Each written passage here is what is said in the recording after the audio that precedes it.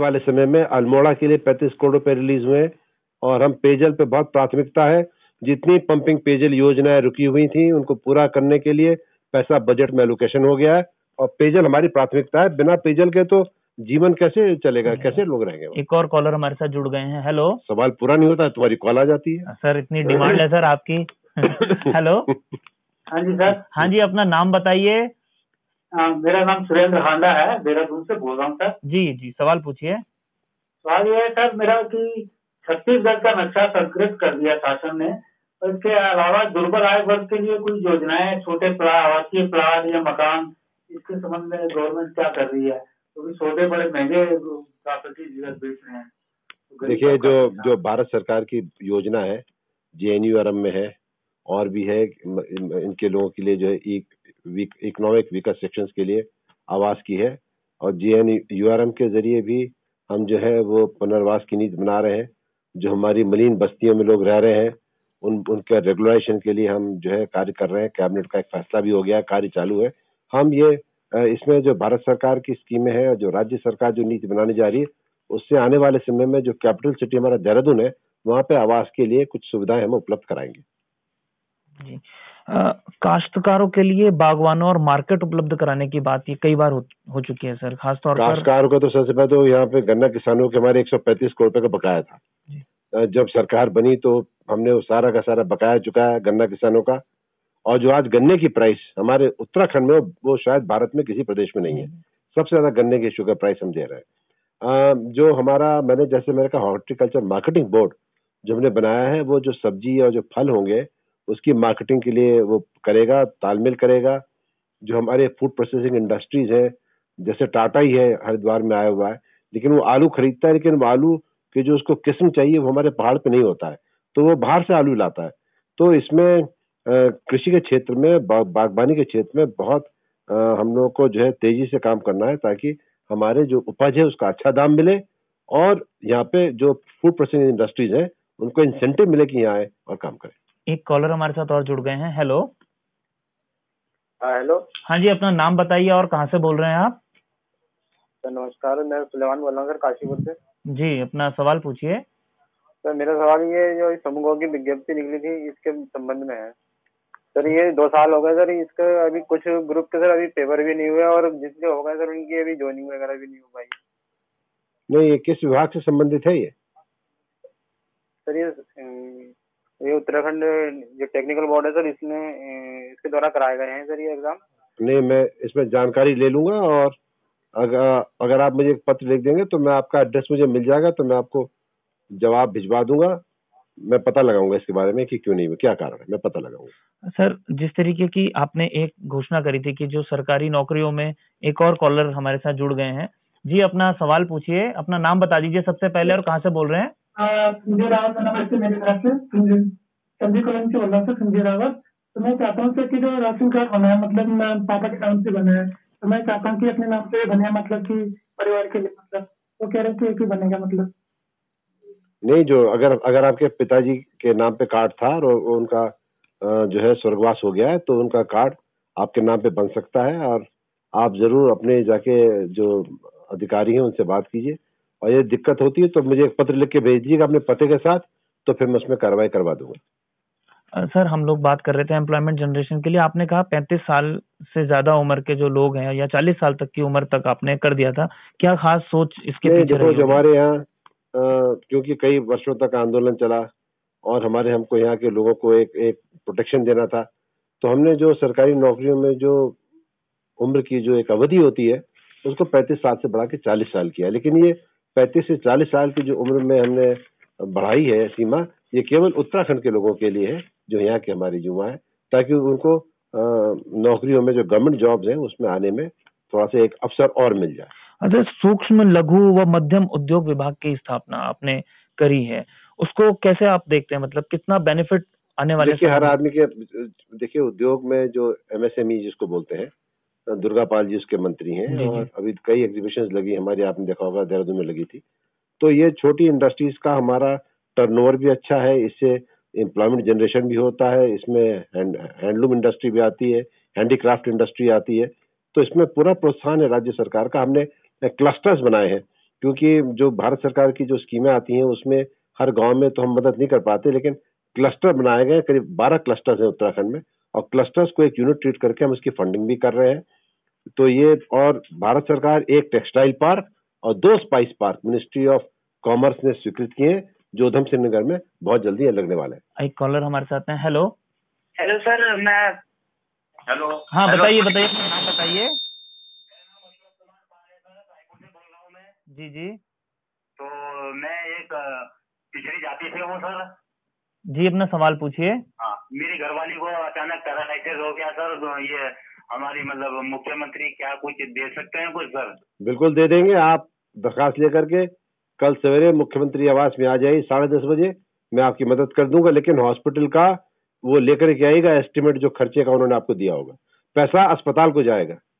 Sir जो infrastructure की हम बात कर रहे हैं हॉस्पिटल की हम बात कर रहे हैं बड़े शहरों में तो अस्पताल खुल रहे हैं लेकिन गाँव गाँव में मेडिकल हाँ फैसिलिटीज़ उसमें है तो हमारे जो गवर्नमेंट ऑफ़ इंडिया की जो ग्रामीण स्वास्थ्य सेवाएँ हैं उसमें आप जानते हैं कि सीएससी होते हैं पीएससी होते हैं। हमारे यहाँ सुविधाएँ हैं। और, लेकिन डॉक्टर्स की समस्या है कि डॉक्टर्स पहाड़ पे जाना नहीं चाहते। हमने जो डॉक्टर्स के कॉन्ट्रैक्ट पीरियड था, एक साल होता था उसको बढ़ा के तीन साल कर दिया। जो वेतन था, उसको डबल कर दिया है। और विशेषज्ञों का तो चौगुना कर दिया है। तो हम तो बहुत इंसेंटिव्स दे रहे हैं कि हमारे डॉक्टर्स जो है पहाड़ों पे जाएँ। जब ट्रांसफ़र करते हैं यहाँ से पहाड़ों पे तो लोग डॉक्टर जाते नहीं, सिफारिशें शुरू हो जाती हैं। तो सरकार भी थोड़ा सा सख्ती कर रही है और अनुरोध भी है। और लेकिन हम ये भी योजना बना रहे हैं कि जो बच्चे एमबीबीएस क्योंकि पंद्रह हज़ार रुपए की फ़ीस देती है और उसमें लोग एमबीबीएस कर लेते हैं। तो उसमें एक अनुबंध कराने की बात है कि ये जो हमारे बच्चे यहाँ से एमबीबीएस कर रहे हैं वो साल दो साल कम से कम पर्वतीय जनपदों में जाकर के सेवा करें। सर कुछ उत्तराखंड सरकार किस तरीके की अब योजनाएँ लागू करने वाली हैं वो कुछ अगर आप बहुत संक्षेप में बता पाए हमारे को हमारे दर्शकों को। देखिए हर क्षेत्र में चाहे शिक्षा के क्षेत्र में स्वास्थ्य के क्षेत्र में पेयजल के क्षेत्र में हमारी विशेष योजनाएँ हैं, हमारा ध्यान है। हमें पता है कि लोगों की क्या तकलीफ़ है। जो सीमांत जनपद है, वहाँ पे जो कर्मचारी काम कर रहे हैं, उनको ज़्यादा वेतन देते हैं। जो पिछड़े क्षेत्र हैं, उनके विकास के लिए पहली बार सरकार ने अलग से पिछड़ा क्षेत्र विकास एक कोष बनाया है, जो जिला योजना के, से हटकर के पैसा देता है। वो कोष हमारे पास है, जिसको हम खर्च कर रहे हैं मूलभूत सुविधाएँ लाने के लिए। सरकार का ध्यान, हम उत्तराखंड पूरा एक है। हम हम हरिद्वार और पिथौरागढ़ के रूप में इसको नहीं देखते। यही हमारे आंदोलन की भावना थी कि हम उत्तराखंडी बने।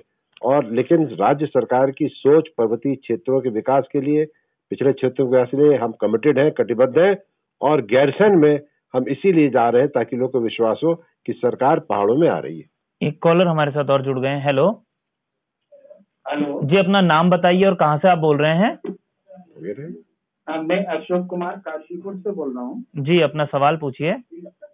मैं माननीय मुख्यमंत्री जी से ये पूछना चाहता हूँ जी।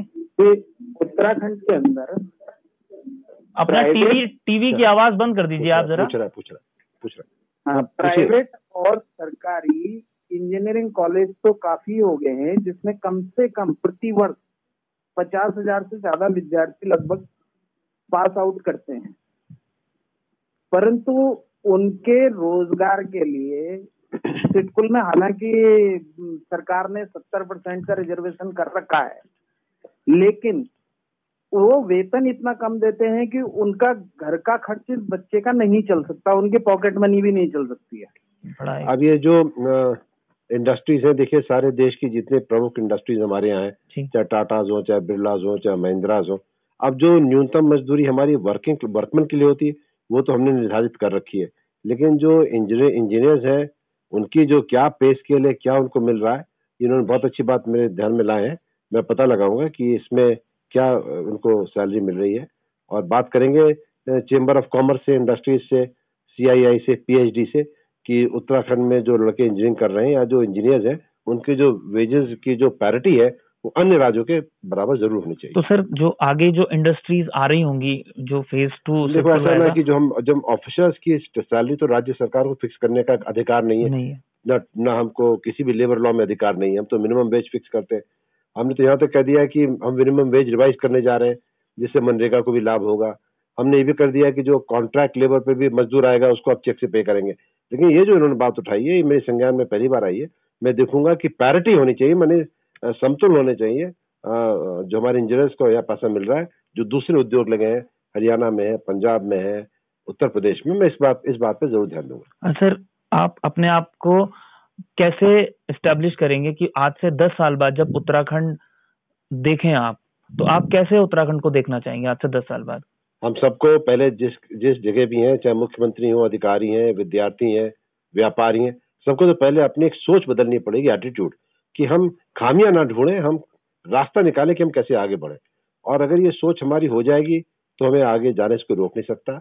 मैं मुझे पूरा विश्वास है कि आने वाले दस पंद्रह साल में बीस साल में हमें एक बड़े सशक्त आर्थिक राज्य के रूप में हमारी प्रस्तुति होगी हमारी उपस्थिति होगी भारत में। अगर किसी एक खास सेक्टर को आप फोकस करना चाहें तो आपको किस लग, क्या कौन सा सेक्टर आप देखते हैं जहाँ सबसे ज़्यादा ग्रोथ की गुंजाइश टूरिज़्म टूरिज़्म टूरिज़्म हमारे यहाँ धार्मिक टूरिज़्म है, हमारे यहाँ नेचुरल टूरिज़्म है, हमारे यहाँ एडवेंचर स्पोर्ट है। मैंने टेहरी में एडवेंचर स्पोर्ट एकेडमी का शिलान्यास किया है। पूरे टेहरी झील के चारों तरफ़ एक नई कली कैबिनेट ने एक अथॉरिटी बना दी, जिसका मैं चेयरमैन हूँ। टूरिज़्म में इतना पोटेंशियल है कि हम पूरा उत्तराखंड की अर्थव्यवस्था को ठीक कर सकते हैं। आप स्विट्जरलैंड को देखिए, सारी इकोनॉमी किस चीज़ पे है? टूरिज़्म पे। हमारे पास तो टूरिज़्म भी है और पावर भी है। और सत्ताईस हज़ार मेगावाट बिजली हम पैदा कर सकते हैं, लेकिन आज हम मात्र कुल अड़तीस सौ मेगावाट पैदा कर रहे हैं। तो कुछ थोड़ा सा लोगों को सोच बदलनी पड़ेगी, आगे आना पड़ेगा और सरकार सही दिशा में है और सरकारें आती सरकारें जाती हैं। इससे कोई फ़र्क नहीं पड़ेगा क्योंकि उत्तराखंड में जो मूलभूत समस्या है, उसको हमारे राजनीतिक लोग जानते हैं, पार्टियाँ जानती हैं और हम केंद्र सरकार की मदद से यहाँ पे परिवर्तन करने के लिए और खुशहाली लाने के लिए पूरा प्रयास करेंगे। सर, टूरिज़्म में किस सेक्टर को आप देखते हैं मतलब क्योंकि जो कुछ सर्किट है बस वही डेवलप हुए हैं। देखिए हमारे यहाँ बहुत नैनीताल और मसूरी जैसी टेरी की झील ही सबसे कितनी बड़ी झील है डोडी ताल की झील है फिर धौड़ाघर में झील है तो हमको नए जगह निकालने अब जैसे गैरसैंड क्या है गैरसैंड एक नया हिल स्टेशन बनेगा तो हमको इस तरह का इन्वेस्टमेंट चाहिए राज्य सरकार के पास पैसे नहीं है। हम ऐसी पॉलिसी ला रहे हैं कि लोग इन्वेस्ट करें टूरिज़्म सेक्टर में और वहाँ इंफ्रास्ट्रक्चर चाहिए रोड चाहिए हम 22 अ, वो ला रहे हैं हेलीड्रोम्स हेलीकॉप्टर्स के लिए हम आपका पिथौरागढ़ का, चिन्याली सौड़ का, गोचर का तीनों एयरफील्ड्स को अपग्रेड कर रहे हैं पंतनगर अपग्रेड कर दिया है, आज देहरादून में बोइंग आता है। तो है एक रास्ता है, बारह वर्ष में तो बच्चा भी कितना आगे बढ़ेगा, शिशु राज्य है, लेकिन एक कह सकते हैं कि ये राज्य जो एक दिन पहलवान बन जाएगा। उत्तराखंड के मुख्यमंत्री विजय बहुगुणा आज दूरदर्शन के स्टूडियो में रहे। उत्तराखंड के कोने कोने से दर्शकों ने सवाल पूछे।